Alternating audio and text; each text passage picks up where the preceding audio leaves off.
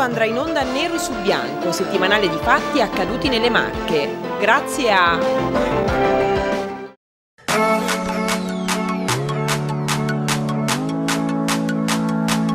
Oggi mi sento molto chic e shock perché sono stato da Moda Leader.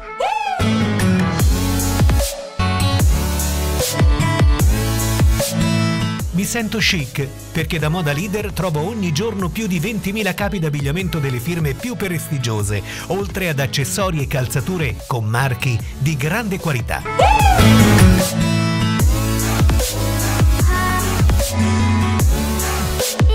Mi sento shock perché ho fatto shopping scegliendo il meglio per me e per tutta la famiglia a prezzi straordinari. Da Moda Leader ogni capo è scontato del 50% sul costo indicato in etichetta. Sì, perché da Moda Leader trovi il meglio della moda, ma con prezzi dell'outlet.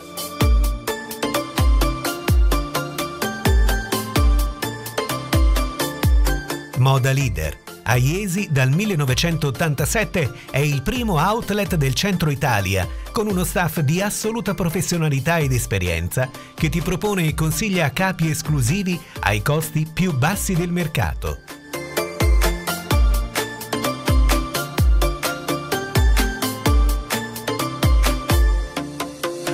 Moda Leader è un maxi store di 1000 metri quadri con nuovi arrivi settimanali ogni martedì.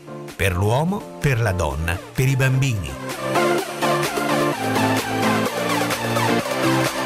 Scopri lo stile di Moda Leader nel maxi store di Iesi in via Belardinelli 10. Aperto anche la domenica pomeriggio. Moda Leader. La moda chic. A prezzi shock.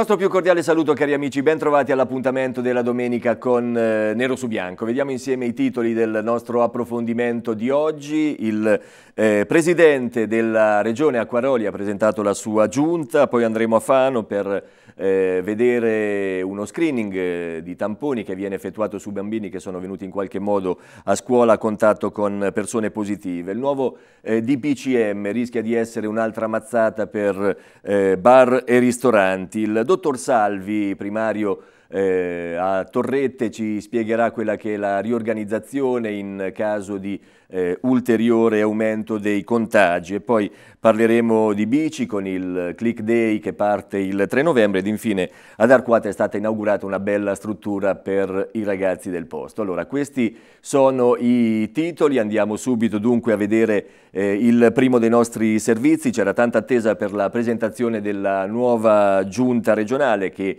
governerà le Marche per i prossimi cinque anni, anche con qualche polemica sulle cosiddette quote rosa, intanto comunque il Presidente Acquaroli l'ha eh, ufficializzata eh, giovedì scorso, sentiamo Caterina Cantori dal videogiornale appunto del 15 ottobre.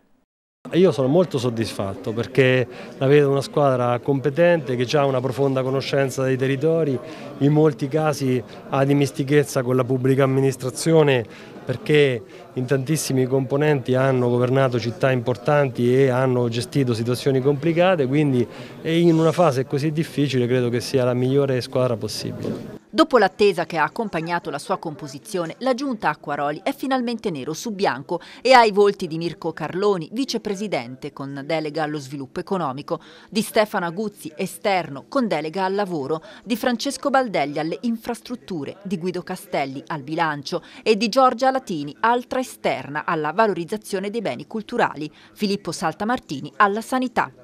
Per sé il governatore ha tenuto il turismo come delega di sintesi delle azioni di rilancio del territorio. Restano così a bocca asciutta Ancona e Fermo, ma il Presidente preferisce puntare l'attenzione su quella che sarà la rappresentatività espressa nelle commissioni consiliari. I territori sono tutti rappresentati in Consiglio regionale, la Giunta può esprimere e deve esprimere una visione complessiva. Quindi io capisco anche in questo senso sicuramente la soddisfazione di qualche territorio e l'insoddisfazione di qualche altro territorio, ma è nostro preciso impegno e mio preciso impegno di rappresentare tutti i territori in una visione complessiva. È un po' il problema della nostra regione, che si è spesso frammentata, divisa e non è riuscita mai a esprimere una visione unitaria. Noi vogliamo provare ad esprimere per il tramite di questa squadra una visione unitaria. Un lavoro, quello dell'esecutivo dell'undicesima legislatura, che comincia subito dopo la presentazione. Sul tavolo il piano anti-Covid, ma tra le priorità anche le politiche comunitarie, la cui programmazione è in scadenza e il bilancio ormai alle porte. La partita noi la giochiamo nei prossimi tre mesi cercando di combattere fortemente la crescita della pandemia e quindi ci metteremo subito al lavoro per organizzare un piano pandemico, per organizzare la rete di medicina dei territori, per organizzare tutte quelle azioni che possono dare un segnale importante in termini di contenimento della pandemia. Anche nella nostra regione il Covid eh, sta entrando e non poteva essere altrimenti nelle scuole con eh, diversi positivi tra insegnanti e studenti. Eh, a Fano è stato organizzato un punto tamponi per i bambini che in qualche modo possono essere a rischio. Sentiamo Daniele Andreani dal videogiornale del 15 ottobre. Ci troviamo nella periferia di Fano, alle mie spalle il Codma dove è stato istituito un drive point per poter effettuare comodamente i tamponi rimanendo nella propria auto. C'è già una importante fila che si è venuta a creare, sono molte le persone che attendono di effettuare il tampone, prevalentemente con i loro bimbi. Come ci ha eh, comunicato il responsabile, la maggioranza appunto di coloro che dovranno fare il tampone oggi sono bambini e giovani. Il funzionamento è semplice, si arriva sul posto, ci si mette in fila e si attende il proprio turno per poter fare il tampone. A Fano il punto drive è stato istituito recentemente per consentire a un numero maggiore di persone di poter effettuare il tampone in maniera rapida. La richiesta è molto alta, soprattutto da parte dei genitori che devono far controllare i propri figli, molti dei quali vanno in classe con altri ragazzini già risultati positivi al virus. La classe è stata messa in quarantena per, perché hanno trovato un caso e adesso stiamo facendo il secondo tampone. Il primo abbiamo fatto Urbino, è andato bene, speriamo anche il secondo. Stiamo facendo il tampone, ovvero mio figlio dovrà fare il tampone come screening perché ci sono stati dei positivi in classe. Molto lunghe le file per accedere alla postazione, con code significative, creando difficoltà soprattutto a chi deve recarsi al lavoro. Da quanto siete in fila qui al punto di Fano? Eh, circa 45 minuti, circa. Avevamo appuntamento per le 10, sono le 10.34, ma ci siamo. Altri lamentano la mancanza di test più rapidi e sottolineano la necessità di velocizzare le tempistiche per evitare di rimanere bloccati tanto tempo in coda. Sicuramente uno strumento efficace per monitorare la situazione in modo più rapido e consentire il rientro sicuro nelle scuole dei più piccoli. Il Presidente del Consiglio Conte ha presentato in settimana il nuovo DPCM, lo sappiamo, ne abbiamo eh, parlato tutti, ci sono diverse misure restrittive, tra le quali naturalmente si è parlato tanto del coprifuoco a mezzanotte per bar e ristoranti. Tatiana Cursi dal videogiornale del 14 ottobre. Questi sono i locali nostri, la, la, la, via, la via lavora da mezzanotte in poi, quindi Adesso vediamo le persone come rispondono, se si adeguano. Gli esercenti dei locali pubblici non ci stanno. Il nuovo DPCM, che cerca di arginare l'escalation della pandemia, prevede che le attività di ristorazione siano consentite fino alle 24 con servizio al tavolo e fino alle 21 in assenza di servizio al tavolo. Una decisione che colpisce i gestori dei locali, prevalentemente dei pub, che lavorano molto dopo le 23 le ripercussioni dal punto di vista economico ci saranno, ma sono difficili da quantificare e con le tasse da pagare i titolari dovranno rinunciare ai collaboratori con la perdita di posti di lavoro.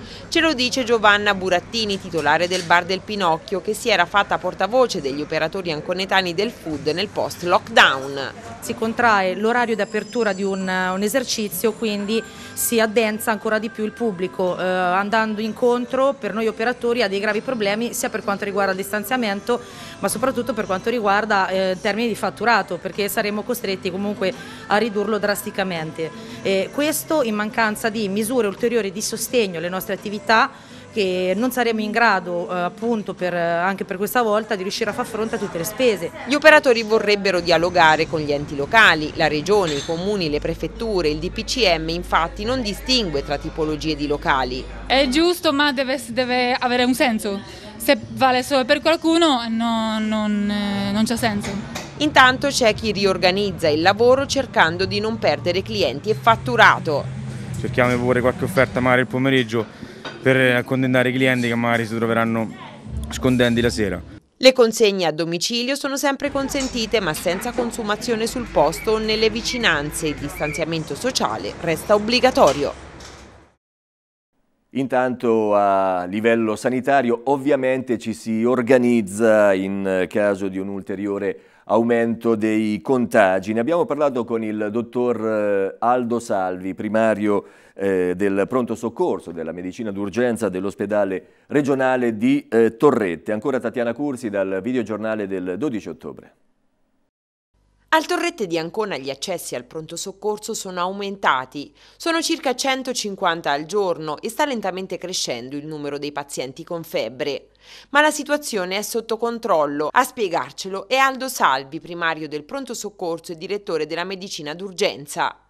La situazione comunque è destinata a peggiorare, la struttura però è pronta, è stata ampliata l'area di osservazione breve intensiva, che è stata portata da 100 a 300 metri quadrati con 10 posti letto monitorati e locali a pressione negativa per limitare la diffusione del virus.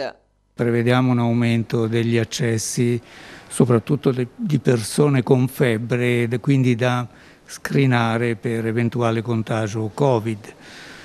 Il pronto soccorso è preparato in un modo ben preciso, eh, con un settore dedicato ai pazienti con febbre o comunque con un qualche sospetto e gli altri pazienti invece non sospetti.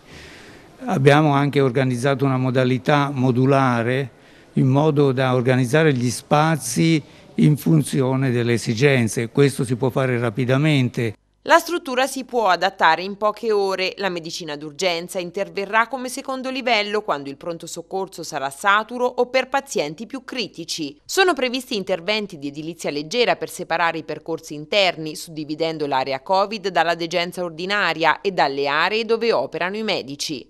Ma secondo Salvi non si tornerà ai livelli del periodo pre-lockdown, quando l'80% dei pazienti che arrivavano al pronto soccorso con febbre era positivo. Il tasso di positivi non supererà il 10% perché le persone fanno attenzione. Non prevediamo che succeda quello che è successo nel marzo scorso dove nei giorni clou abbiamo avuto avevamo 80-70 accessi al giorno, questo, questo no, però sicuramente prevediamo un aumento moderato più prolungato. Sarebbe comunque buona norma non recarsi in ospedale se la febbre non dura più di tre giorni, a meno che non ci siano sintomi respiratori o gastrointestinali importanti. È opportuno comunque confrontarsi sempre col medico di famiglia. Scatterà il 3 novembre il cosiddetto Click Day per eh, coloro che hanno acquistato biciclette a partire dal 4 maggio. Sentiamo ancora Tatiana Cursi dal videogiornale dell'11 ottobre. Nelle Marche ne potranno usufruire i residenti ad Ancona, Pesaro, Urbino, Fano, Macerata, Fermo ed Ascoli, perché hanno più di 50.000 abitanti. Dal 3 novembre scatta il bonus bici. Per quel giorno è fissato il click day per dare il via al rimborso sull'acquisto di biciclette e veicoli elettrici. Per richiederlo bisogna registrarsi infatti sull'applicazione web Programma Sperimentale Buono Mobilità 2020. Il buono mobilità è un contributo del 60% della spesa sostenuta per l'acquisto fino ad un massimo di 500 euro. Per il periodo dal 4 maggio 2020 all'inizio dell'operatività dell'applicazione basterà presentare la fattura o lo scontrino parlante. Successivamente si richiederà il buono da spendere per un rimborso del 60% fino a 500 euro. I buoni dovranno però essere utilizzati entro 30 giorni dalla richiesta. Il Ministero ha previsto due fasi, la prima in cui il cittadino si farà rimborsare il 60% della spesa e la seconda in cui pagherà direttamente al negoziante solo il 40% e poi l'esercente si farà rimborsare il 60% dallo Stato. E questo fino ad esaurimento risorse. Il governo ha stanziato 190 milioni di euro per ora. Intanto le attività commerciali si potranno accreditare sul web dal 19 ottobre, poi chi avrà già acquistato riceverà un bonifico. Gli altri un buono mobilità da consegnare al negoziante che verrà rimborsato dal Ministero. Col buono non si possono acquistare solo bici nuove o usate, ma anche handbike e veicoli a propulsione elettrica come monopattini, overboard e Segway. E adesso invece andiamo nell'area del cratere del terremoto dove la scorsa settimana è stata inaugurata una bella struttura per eh, ragazzi realizzata eh, grazie alle olive alla scolana solidali. Sentiamo Daniele Andreani dal videogiornale del 10 ottobre. Da oggi i bambini di Arquata del Tronto potranno giocare in un nuovo spazio dedicato a loro. È stato infatti inaugurato alla presenza di varie autorità un nuovo plesso sportivo polifunzionale edificato nella zona adiacente al complesso di abitazioni realizzate per i terremotati. Nel campo ci sono varie aree, una dedicata al calcio, una per la pallavolo e un'altra per il basket. La realizzazione del plesso sportivo è stata possibile grazie ad un'iniziativa proposta da McDonald's avviata nel 2016 chiamata Olive alla Scolana Solidali. La nota multinazionale ha trattenuto un euro per ogni confezione venduta di olive alla Scolana, simbolo d'eccellenza del nostro territorio, e ha destinato il ricavato, ossia una cifra di circa 470.000 euro, al comune di Arquata. È frutto di un'iniziativa di cui noi siamo veramente grati perché questo campo è un campo che è appunto un segnale importanza di ripartenza, è un segnale che ha un valore sociale ma un segnale che ha un valore umano, un'attenzione che noi veramente raccogliamo con molto piacere. Noi crediamo che le vite di queste persone e la valenza che questi territori hanno valgano molto di più rispetto alle procedure, quindi occorre semplificare,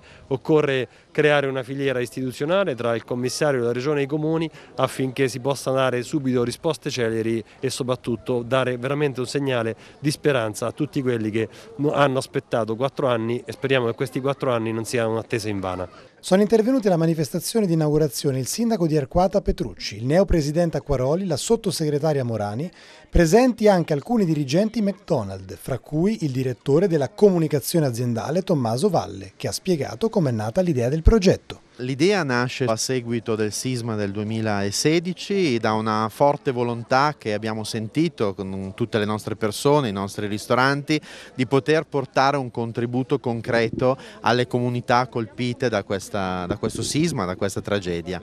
Le immagini in quelle settimane erano immagini veramente tragiche e quindi abbiamo voluto eh, unire le forze di tutti i nostri ristoranti e coinvolgere anche i nostri consumatori attraverso una vendita solidale di olive alla alla Scolana. Siamo riusciti a raccogliere 470 mila euro grazie alla generosità di tutti i nostri consumatori e eh, grazie a questa somma che è stata donata in, per intero al comune di Arquata del Tronto, oggi siamo qui con questa bellissima giornata a eh, inaugurare questo campo polisportivo. Nel nuovo campo come ospiti d'eccezione presenti anche tre celebri sportivi marchigiani, Massimo Ambrosini, stella del calcio, Marco Bellinelli, cestista di fama internazionale e Davide Mazzanti, CT nazionale di volley femminile. Gli sportivi si sono intrattenuti anche con i bambini e hanno giocato un po' assieme a loro. Tutte le autorità presenti hanno ribadito l'importanza di dare un segnale di svolta e di impegno collettivo per ripartire. Il sindaco di Arquata Petrucci ha ricordato il dramma vissuto sulla pelle dei cittadini e si è espresso duramente. Quattro anni di ritardo significa quattro governi e quattro commissari, sottolineando la lentezza della politica a dare risposte. Ed era questo l'ultimo servizio nell'ambito del nostro approfondimento di oggi con eh, Nero su Bianco. Nero su Bianco che tornerà come sempre domenica prossima. E allora a me non resta che ringraziarvi dell'attenzione ed augurarvi un eh, buon proseguimento con i programmi di TV Centromarchi. Arrivederci.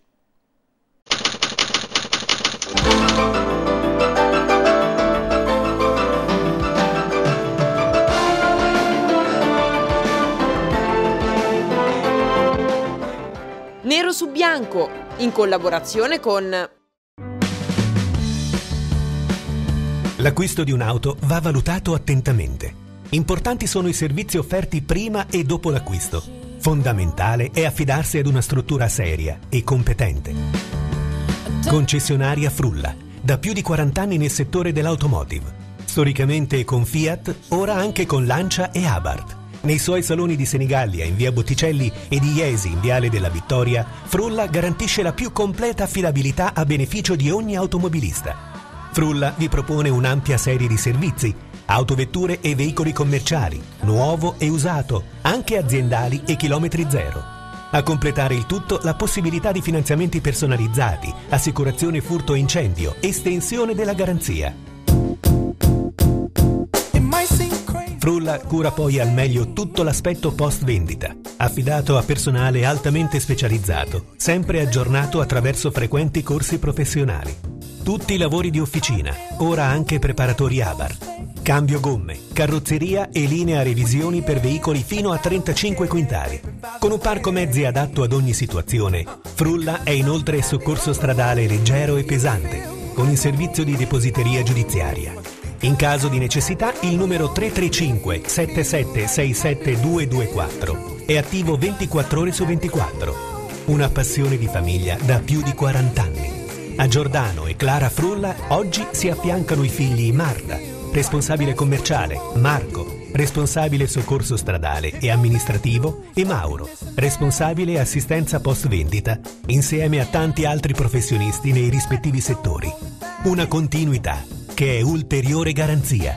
Frulla, a Senigallia in via Botticelli 43 e a Iesi in viale della Vittoria 3. Concessionaria Fiat, Lancia, Abarth e Fiat Professional. Dal 1971. Passione in movimento.